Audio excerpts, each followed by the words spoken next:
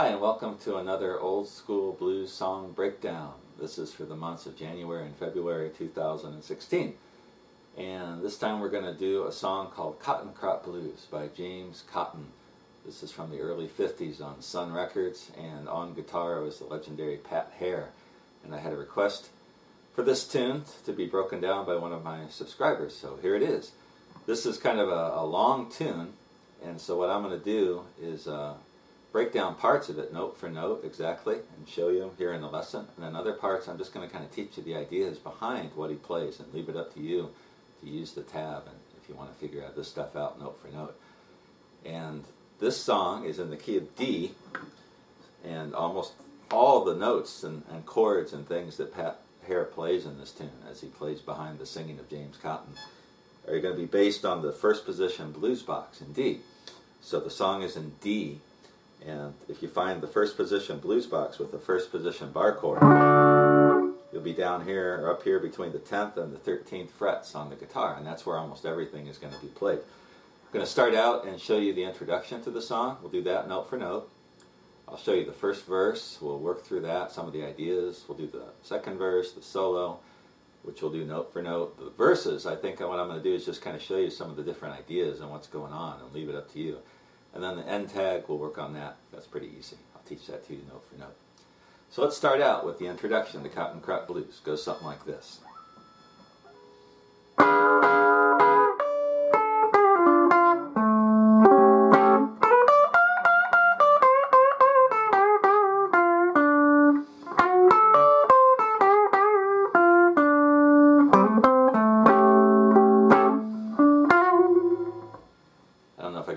For note, but pretty darn close. So the first thing he plays is a diminished chord. This is a signature Pat Hare lick. He, he uses this all the time in most of his tunes. And it's a really nasty sounding chord lick. And it's really a diminished chord. So if you're not familiar with diminished chords, first finger is going to be on the 12th fret of the fourth string, second finger on the 12th fret of the second string ring finger on the 13th fret of the third string, pinky on the 13th fret of the first string. And you should have this. It's a D diminished. And what he does to open up the song is he picks this chord three times. And as he picks it, he's just, I think it's all downstroke. He's bending up with all four of his fingers on the chord. Then he's going to go to these two single string notes. 10th fret of the first string, 10th fret of the second string. So the whole first lick.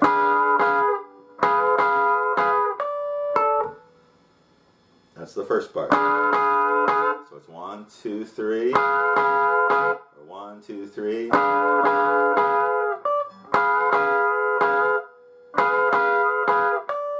There it is. And he does this little lick bending on the third string at the 12th fret, using three fingers from the 10th to the 12th fret. Then he's going to get 12th fret of the fourth string and end up on the 10th fret of the third string. So the whole first part of the introduction. One more time. It sounds like he might throw an A seventh chord in here. I can't tell if he's playing that or not. It's kind of hard to hear. But it sounds like there's a little bass lead in, which would be the 12th fret of the 5th string. This is an A seventh chord. I think a C seventh.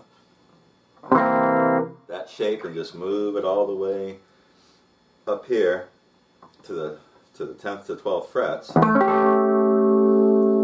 you could use that chord in there if you're not playing with the piano or if you want to you know, imitate what they're doing there. There's horns, there's piano, there's other stuff in there. It's hard to hear if he's playing that chord.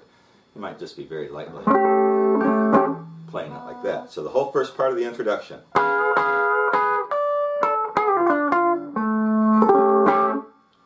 And then he goes into this lick.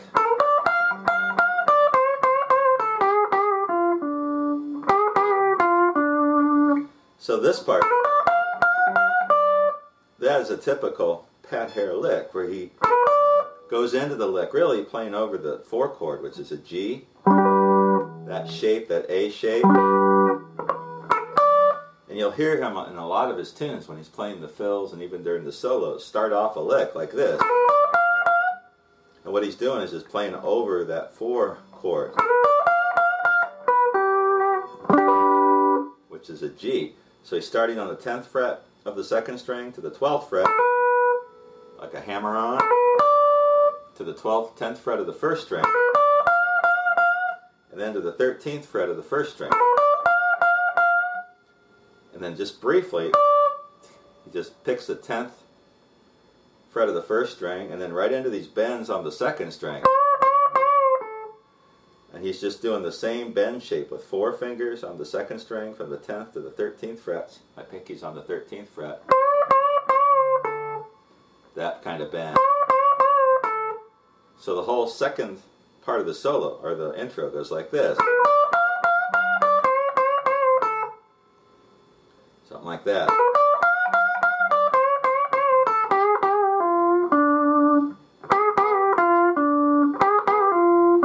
Something like that, where he's going to bend up. Now the next part he's going to bend on the third string.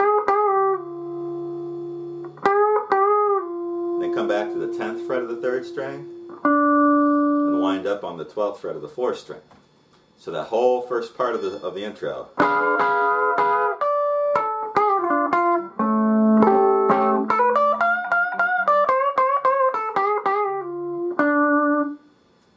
That's what I'm hearing. And then he does this. And this is a typical kind of electric blues lick. I can't. I don't think he's using the bend. I think he's just picking it. So he's starting from the 10th fret of the third string to the 11th fret. Then he's going to get the 10th fret of the second string, 10th fret of the first string. 13th fret of the second string, 10th fret. That's a real common lick. You hear a lot of guys use this in different ways.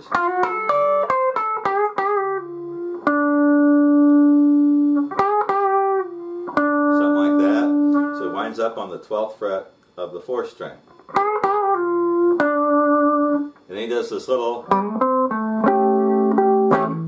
little uh, lick into the five for the turnaround. I can't tell exactly what he's playing here, but it sounds to me like he's really quickly playing the chromatic run from the 10th to the 11th to the 12th fret of the 5th string to the 10th fret of the 4th string and then winding up on the 5 which is the A 12th fret of the 5th string. So something like this. And there it sounds again like he's putting the chord in there, A 7th chord. And then he throws in, right as he gets into the next verse, and we'll work on this, he throws that little lick in. And I'll, I'll teach that as we get into the first verse. So let's go over the whole introduction to Cotton Crop Blues. I'll play it real slow one time. This you know, this isn't official. I don't claim to be the official tablature writer of this stuff. This is just me trying to figure it out. If you hear something different, let me know. Here we go.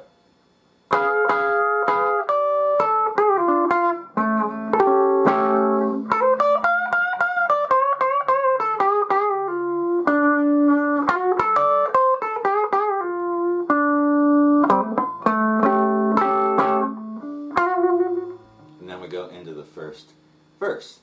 So as we got started there, the only chords, we got the diminished chord to kick off the tune, and then this little seventh shapes. That's a C seventh shape played as an A seventh up here at the, with my ring finger on the A at the 12th fret of the fifth string.